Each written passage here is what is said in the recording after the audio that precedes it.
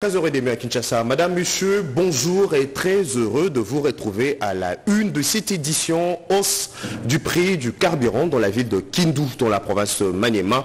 Les habitants de ces coins accusent le mauvais état de route reliant Maniema aux autres provinces de la RDC. Ils ont lancé un SOS à suivre dans ces journaux. Trois personnes ont perdu la vie dans un comptoir d'achat suite à une attaque par des hommes armés non autrement identifié à Bougnan Nitouri. Une enquête a été ouverte. Objectif, traquer les auteurs. Et puis cette déclaration, Eteni Longondo, ancien ministre de la Santé, n'a pas de leçon morale à donner. De mots prononcés par Joseph Boulaboula, membre de l'UDPS, qui dénonce les fausses accusations portées contre son, le secrétaire général de l'UDPS, Augustin Kabouya. Vous le coûterez dans ce journal. Mesdames et messieurs, voilà tout pour le titre. Après deux allégations enregistrées sur l'existence de constructions anarchiques le long du fleuve Congo, une délégation gouvernementale a effectué une visite d'inspection. Acacia Bondou Bola et Crispin Mbado, respectivement ministre d'État en charge des affaires foncières et ministre de l'urbanisme, ont évalué la situation de chantiers de construction en cours le long du fleuve Congo. Ces journal débute par ces reportages de Namumba. Faisant suite aux instructions du chef de l'État Félix-Antoine Tshisekedi Chulombo en matière des affaires foncières, de l'urbanisme et de l'habitat, deux membres du gouvernement, à l'occurrence le ministre d'État des Affaires foncières Akassia Bandoubola et le ministre de l'Urbanisme et de l'Habitat Crispin Badou ont effectué une descente sur le terrain pour se rendre compte des réalités sur les sites majestiques rue qu'ils ont parcouru par une randonnée sur le fleuve Congo jusqu'au point de chute de Maloukou. Il nous a été euh, rapporté euh, qu'il y avait des constructions qui se faisaient euh, le long du fleuve. Au Conseil des ministres, il nous a été demandé de faire une descente sur le terrain pour voir ce qui se passe. Je pense que la primeur est réservée à son Excellence Monsieur le Président de la République et Madame, euh, Son Excellence Madame la Première ministre. La situation est déplorable. Les normes urbanistiques foncières et environnementales ne sont pas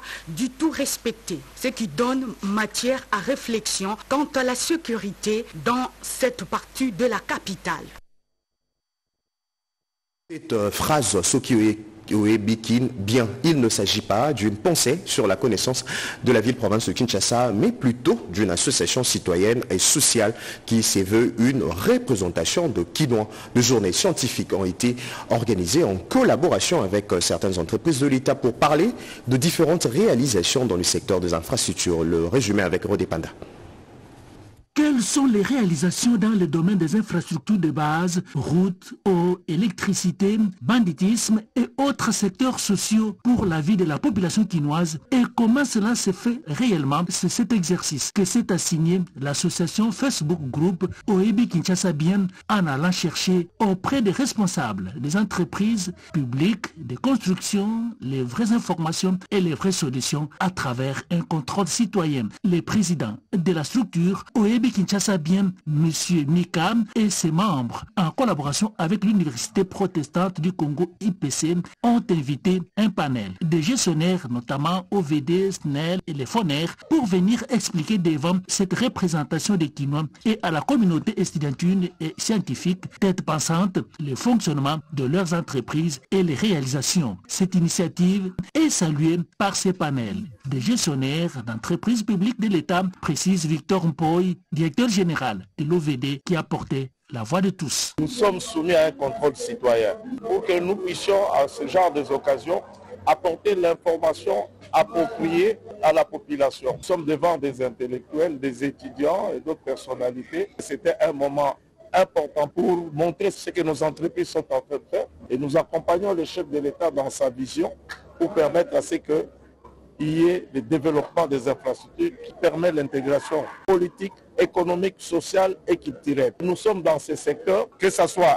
routier, que ce soit énergétique. Grande satisfaction du côté des organisateurs de l'intérêt manifesté par leurs invités. On est satisfait. On a invité un panel important. Il y a eu trois DG, un grand directeur de la SNEL. Nous avons eu le DG de l'Office de route, du FONER et de l'OVD. Nous venons ici parlé avec des étudiants, ils ont posé des questions. Je salue la pertinence des réponses données par les mandataires. Nous sommes en train de fêter le 11e anniversaire de notre ASPL Facebook Group, mais mieux connu sous le nom de Sokyo Bikinbia. Tous les Congolais mobilisés pour accompagner le programme du chef de l'État Félix Tshisekedi. En tout cas, tous les espoirs sont permis. Je le disais à l'entame de cette édition, une enquête a été ouverte après l'assassinat de trois personnes hier dimanche à Bounia, dans la province de Litouri, dans un comptoir d'achat d'or par des hommes armés non autrement identifiés. Objectif, traquer les auteurs. Junior Sélémagne.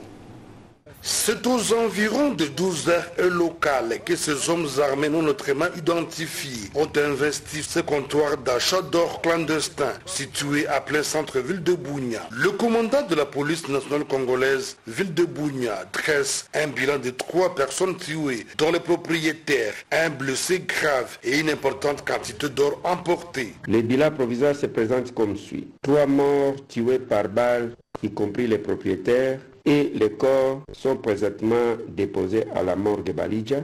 Un blessé grave acheminé à la clinique Salama dans un état critique. Une quantité importante d'or emportée par les malfrats. Pour l'air, les enquêtes se poursuivent pour élucider les circonstances de cet événement malheureux afin d'appréhender. Le présumé auteur rapporte le commissaire supérieur Abeli Mwangou. La population est appelée à la vigilance en dénonçant toute personne suspecte à cette période où tous les Congolais sont en alerte pour barrer la route aux ennemis de la République.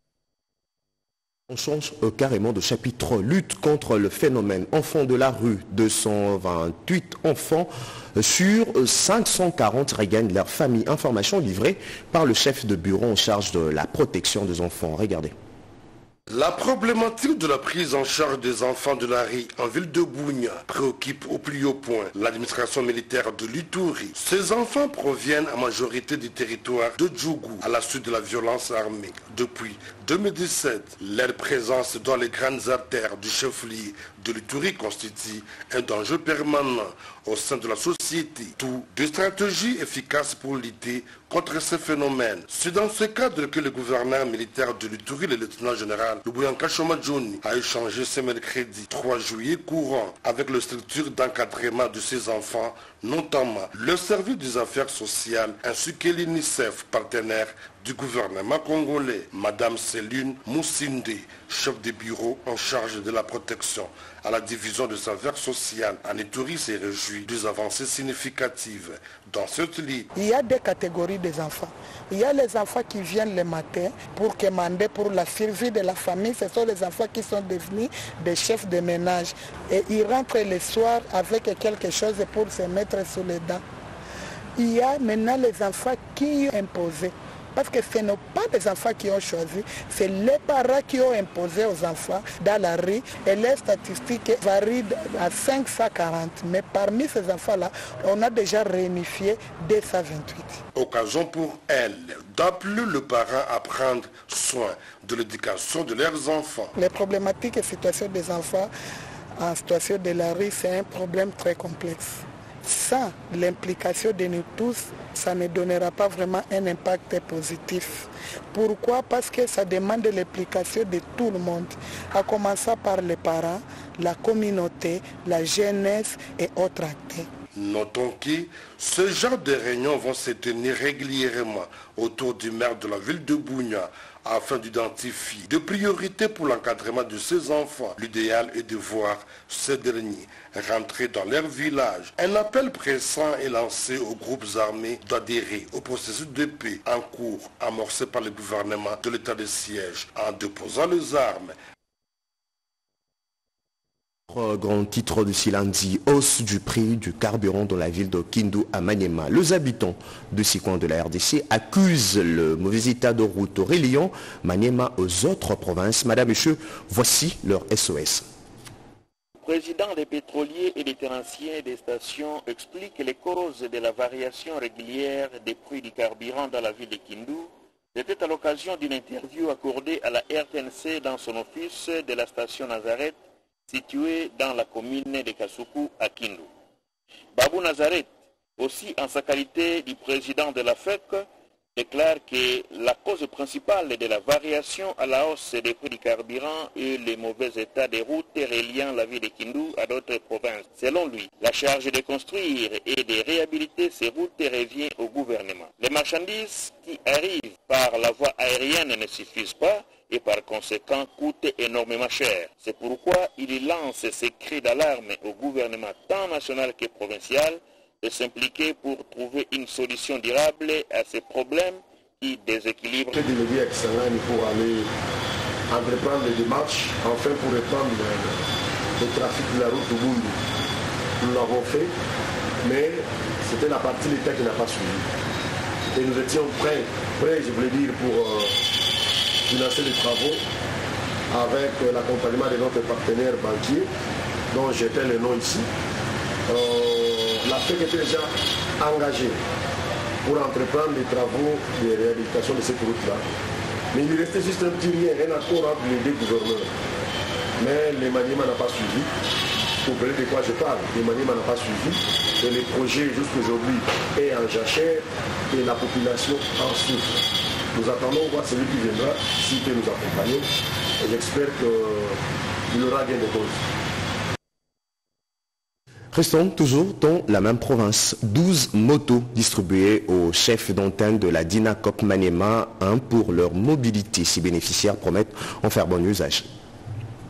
Le ministre provincial de l'Agriculture et représentant les gouverneurs intérimaires de la province du Manema a présidé ce samedi 6 juillet 2024 la cérémonie de remise des motos aux chefs d'antenne de la DINACOP Manema 1. Dans ce mot de bienvenue, Adam Kamulete, directeur provincial de la Dinakopé Maniema 1, a montré que les 12 motos distribuées aux 12 chefs d'antenne sont les fruits de son service. Il les distribue à ses collaborateurs pour faciliter la mobilité dans des raisons de service. Les bénéficiaires ont remercié cette dotation tout en promettant bon usage de ces engins roulants. Ils ont enfin demandé à leur chef hiérarchique de mieux faire dans les jours à venir. Apolline Vumbi Sikujua, ministre provincial de l'Agriculture, a félicité Adam Kamulete pour cette réalisation et a demandé à d'autres chefs de service d'emboîter ses pas. Avec le concours de tous les 12 chefs d'antenne pour arriver à acheter aujourd'hui les 12 motos qui seront mises à leur disposition, disséminées dans les trois communes de la ville de King et dans les quatre territoires, je cite, Kailo, Pangi, Punya et Lobut. Finez mon propos, sans pourtant vous remercier très sincèrement avec votre gouvernement provincial pour l'attention soutenue, d'avoir accepté de venir répondre à notre invitation malgré les multiples charges de la province que vous avez à réaliser. Cela prouve à suffisance la considération que vous accordez à notre modeste personne. Par cette occasion, permettez-moi de vous assurer que nous comptons sur votre accompagnement aussi pour notre service dans l'équité et l'amour. Excellence, Monsieur le gouverneur de la province ici représenté, distingués invités, si vous regardez les bénéficiaires aujourd'hui, ils ont un sourire aux lèvres car nous avons résolu un problème parmi tant d'autres et nous leur demandons d'en faire bon usage en leur qualité de responsable, tout en leur promettant que si Dieu le veut, nous aurons à réaliser d'autres projets.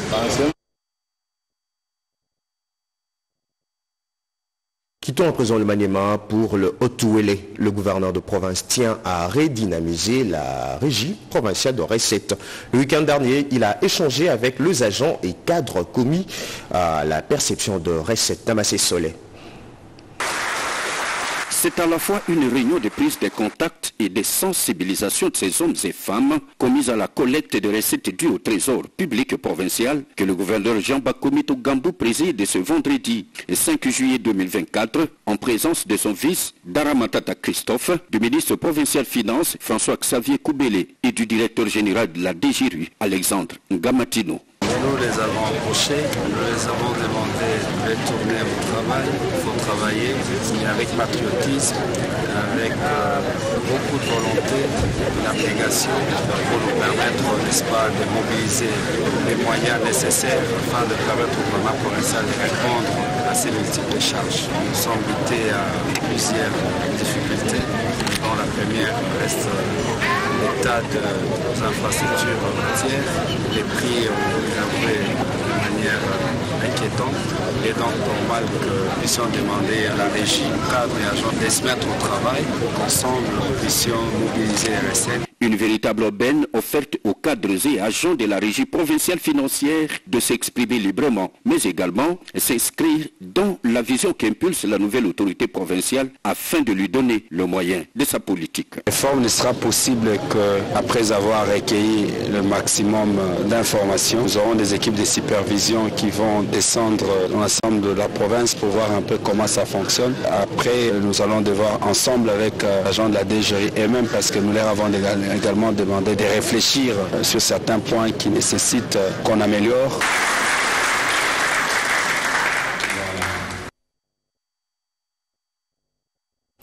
Éducation à présent, le pouvoir interprétatif du juge constitutionnel congolais, son exercice et ses tel était le sujet de la thèse défendue par Benoît Kenge, Yolande Voka et Fallon Malunga. C'était à la bibliothèque numérique de l'université de Kinshasa qu'a eu lieu la soutenance publique de la thèse du maître Benoît Kenga Boulouba, intitulée Le pouvoir interprétatif du juge constitutionnel congolais sur l'exercice de ses implications sous le régime de la Constitution du 18 février 2006 les constituants primaires a conféré à la seule Cour constitutionnelle le pouvoir d'interpréter la Constitution. Comment agit-elle sur l'exercice de ces interprétations? Un exercice juridique pointu qui a été analysé par le récipiendaire. Devant l'assistance, le jury et son promoteur, les débats étaient d'un niveau élevé, très passionnant et a retenu l'attention de tous. Quand le jury délibère, c'est la mention la plus grande distinction qui a été attribuée au chef de travaux Benoît Kengabouloba. Le juge constitutionnel euh, son pouvoir n'est pas illimité, il s'auto-limite. Doit être nommé à la Cour constitutionnelle, c'est les spécialistes en matière constitutionnelle. Parce qu'à ce niveau, le juge de la Cour constitutionnelle fait le travail de, de, de théoriser. Le président du jury, le professeur Évariste Bouchab, a à son tour insisté sur la protection, la fonction de régulation de la Cour constitutionnelle. À la fois une juridiction et un pouvoir public qui est en fait réservé aux initiés, aux techniciens du droit.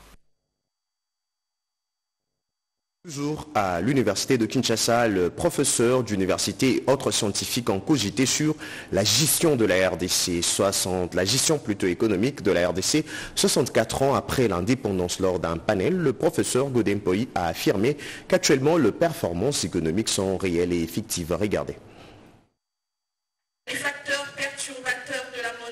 C'est une conférence débat de haut niveau qui a été organisée le samedi 6 juillet 2024 à l'université de Kinshasa. Les orateurs, sélectionnés parmi les membres du gouvernement et professeurs d'université, ont cogité autour du thème gestion économique de la République démocratique du Congo, 64 ans après l'indépendance, rétrospective et prospective. Des sous-thèmes aussi variés que riches en enseignements ont été développés à cette conférence. Dans la foulée, économie congolaise de 1960 à 2024, développée par le professeur ordinaire Godem Poi. L'économie congolaise de la RDC de 2024 à 2028, espoir ou désespoir, par le professeur Daniel Moukoko Samba, vice-premier ministre de l'économie. Son collègue du commerce extérieur, Julien Paloukou, a fait une analyse critique du plan directeur de l'industrialisation de la République démocratique du Congo avant l'intervention du vice-gouverneur de la Banque centrale qui a planché sur les réformes des finances publiques. Tous ces orateurs ont fait une autopsie sans complaisance de l'économie congolaise, de forces et faiblesses. L'université s'est engagée à organiser mensuellement au moins une grande conférence. Nous avons donc là décrypté la situation de notre économie, voir quels étaient les freins au développement attendu par tous, nous dire exactement qu'est-ce que nous pouvons prendre comme moyen pour pouvoir évoluer dans ce domaine. Avant d'entrevoir l'avenir marqué par l'aboutissement d'un programme négocié entre la RDC et le FMI, une grande première dans l'histoire de la République démocratique du Congo. Tout à fait autre chose. Il s'est tenu à Kinshasa, à Bukavu et à Lubumbashi la cérémonie d'installation de la délégation syndicale du service géologique national du Congo. Raoul Manzenga, directeur général de cet établissement public, a présidé cette rencontre. Images et commentaires.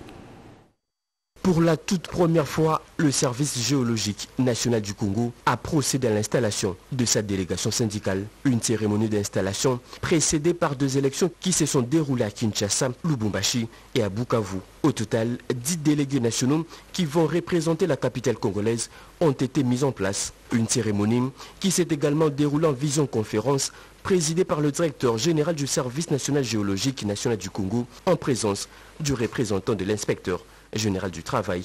Je me fais le devoir de vous rappeler à haute et intelligible voix, bien sûr à toutes et à tous, que l'activité syndicale n'est dispensée de se faire l'économie du secret professionnel. Le mot, c'est, ce sera un mot d'encouragement avec nos collègues, nos camarades qui tiennent le coup, parce que c'est pas facile, c'est pas une, pas une tâche facile à, à, réaliser en tout cas, mais et ceux qui ont aussi les dévouements possibles pour faire leur travail. Une photo des familles a clôturé cette cérémonie historique. Écho de partis et formations politiques. Je le disais même au sommaire de cette édition, l'UDPS dénonce de fausses accusations portées contre son secrétaire général Augustin Kabouya, de mon prononcé par Joseph Boulaboula, membre du parti présidentiel pour ces jeunes cadres. Ete Nilongondo, ancien ministre de la Santé, n'a pas de leçon morale à donner à l'Ambikaï.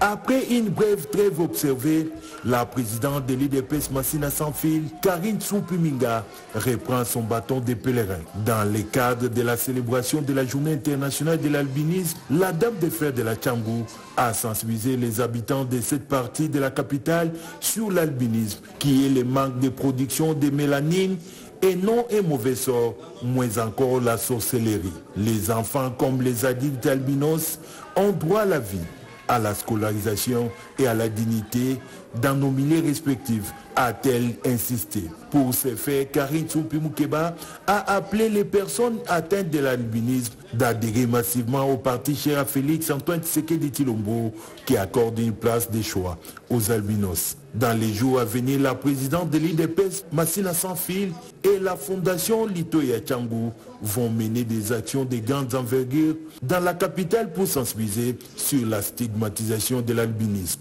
C'est dans ce cadre que les représentants des personnes atteintes de l'albinisme a salué l'engagement du président de la République contre les inégalités sociales. Nos remerciements vont droit au chef de l'État, Félix Antoine Tshisekedi Chilombo, pour son engagement et son dévouement en faveur des personnes atteintes d'albinisme. Que Dieu lui bénisse abondamment. C'est dans une ambiance bon enfant que s'est clôturée cette journée de sensibilisation. Vous avez suivi avec nous, l'albinisme n'est pas une maladie, de mots au centre d'une rencontre organisée à Massina par la présidente cellulaire de l'UDPS.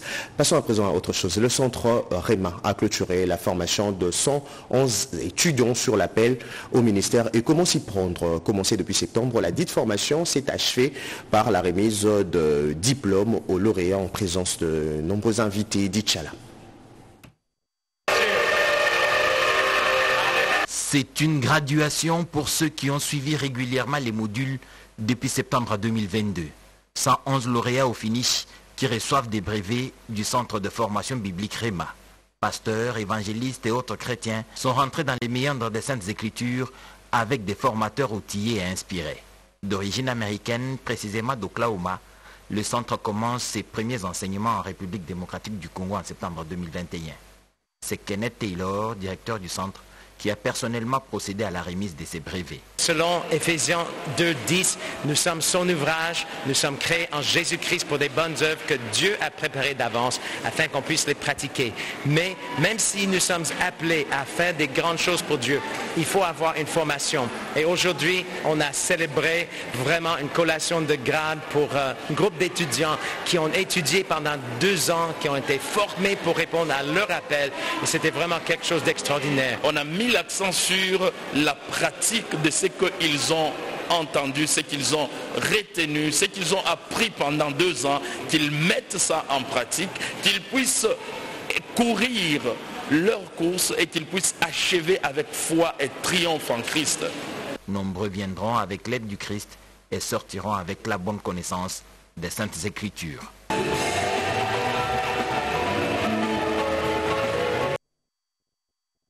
Comme chaque lundi, Jean-Pierre Ndolo d'Amazon propose la sélection de journaux Paris à Kinshasa. Madame, Monsieur, voici votre euh, revue de presse.